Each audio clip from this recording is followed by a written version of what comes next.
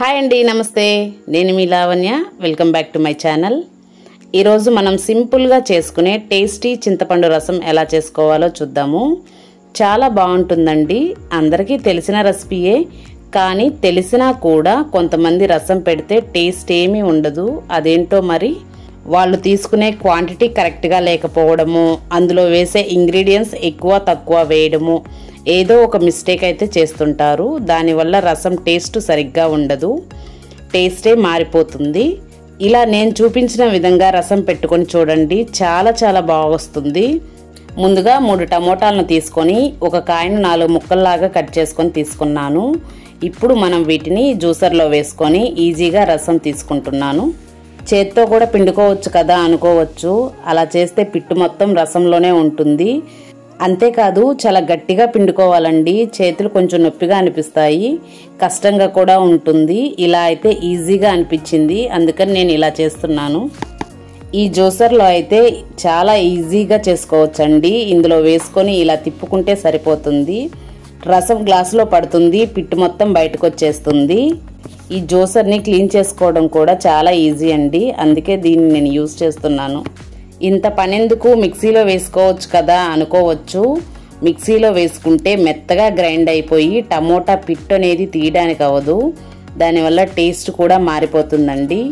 చూడండి పిట్టు మొత్తం బయటకు వచ్చేసి రసం మాత్రమే గ్లాసులో ఉంది. ఈ రసాన్ని ఒక గిన్నె తీసుకొని అందులో పోసుకోవాలి. చూశారు కదండి చేత్తో పిండుకునే పని లేకుండా చాలా ఈజీగా టమోటా రసాన్ని ఎలా తీసుకున్నాను.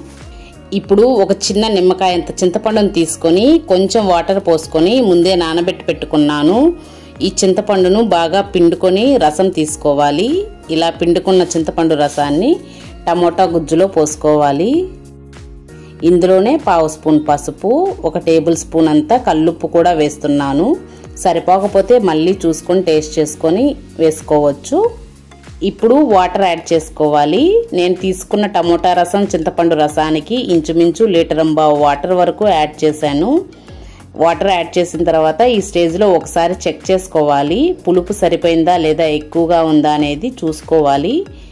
నాకు కొంచెం పుల్లగా అనిపిస్తున్నాయి కాబట్టి ఇంకొక పావు గ్లాస్ వాటర్ పోసుకుంటున్నాను. పోసుకొని ఇలా కలుపుకొని పక్కన పెట్టుకొని స్టవ్ మీద ఒక గిన్నెను పెట్టుకొని ఒక టేబుల్ స్పూన్ ధనియాలు అర స్పూన్ జీలకర్ర పది లేదా పదిహేను మిరియాలు ఒక టేబుల్ స్పూన్ కందిపప్పు వేసుకొని వీటిని లో ఫ్లేమ్లో పెట్టుకొని బాగా వేయించుకోవాలి. ఇవి వేగిన తర్వాత వీటిని మరొక గిన్నెలోకి ట్రాన్స్ఫర్ చేసుకొని ఆ గిన్నెను తిరిగి మళ్ళీ స్టవ్ మీద పెట్టుకొని ఒకటిన్నర టేబుల్ స్పూన్ ఆయిల్ వేసుకోవాలి. ఆయిల్ హీట్ అయ్యేలోపు రసం పౌడర్ గ్రైండ్ చేసుకోవడానికి మిక్సీ జార్ తీసుకొని వేయించుకున్న మసాలా దినుసులను మిక్సీ జార్లో వేసుకొని మెత్తగా పౌడర్లా గ్రైండ్ చేసుకొని తీసుకోవాలి. ఇందులోనే ఆరు ఏడు వెల్లుల్లి రెబ్బలు వేసుకొని జస్ట్ అలా ఆన్ చేసుకొని ఆఫ్ చేసుకొని తీసేసుకోవాలి. ఇలా గ్రైండ్ చేసుకున్న పౌడర్ను కలిపి పెట్టుకున్న రసంలో పోసుకొని కలుపుకోవాలి. రసం పౌడర్ వేసుకున్న తర్వాత ఎక్కడా ఉండలు లేకుండా ఇలా బాగా కలుపుకొని పెట్టుకోవాలి. ఆయిల్ హీట్ అయిందండి. ఇప్పుడు కొంచెం తాలింపు దినుసులు వేసుకొని అవి కొంచెం చిటపటలాడిన తర్వాత నాలుగైదు ఎండుమిర్చి కూడా వేసుకొని ఎండుమిర్చిని కూడా కొంచెం వేయించుకున్న తర్వాత ఒక చిన్న ఉల్లిపాయను కట్ చేసుకొని వేసుకొని బాగా వేయించుకోవాలి. ఉల్లిపాయ వేగిన తర్వాత రెండు రెమ్మల కరివేపాకు కూడా వేసుకొని వేయించుకోవాలి. తాలింపు వేగిన తర్వాత మనం కలిపి పెట్టుకున్న రసం పోసుకొని ఎండుమిర్చిని ఇలా చేత్తో చిదిమేసుకోవాలి. రసం పోసుకున్న వెంటనే కాబట్టి వేడి కూడా ఉండదు. చేత్తో ఇలా తీసుకొని చిదిమేసుకోవచ్చు. తాలింపులో వేగిన ఉల్లిపాయ కరివేపాకు ఎండుమిర్చి వీటన్నిటిని ఇలా చిదుముకోవడంలోనే రసానికి ఒక మంచి ఫ్లేవర్ అండ్ టేస్ట్ వస్తుంది. వీటిని ఒక పొంగు వచ్చేంత వరకు కాగనివ్వాలి.